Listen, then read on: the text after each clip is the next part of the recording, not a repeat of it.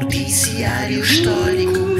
É para o menino e menina, avós e pais. É divertido, é informativo e o melhor é que amanhã há mais. Bom dia, caros telespectadores. Hoje é dia 8 de junho. Este é o Noticiário Histórico e eu sou a apresentadora Roberta.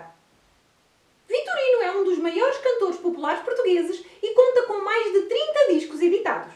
Cantou e continua a cantar com os grandes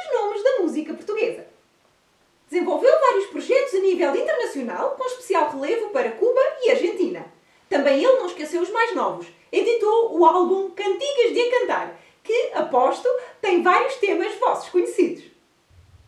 Vitorino Salomé nasceu no dia 11 de junho de 1942 na Vila Alentejana de Redondo. Menina, estás à janela com o teu cabelo me daqui embora sem levar uma prenda tua. Sem levar é para menina. Muito obrigada! Ah, não tem de quê. Ai, que linda flor! Obrigada, Sr. Barata! Não, não, não, não tem de quê, menina. Não tem de quê. Pronto, este foi o Noticiário Histórico e eu sou a apresentadora Roberta. Até amanhã! Gostou? É muito linda! Ah, ah, Apanhei no campo quando vinha para cá. Ai, obrigada! Hum.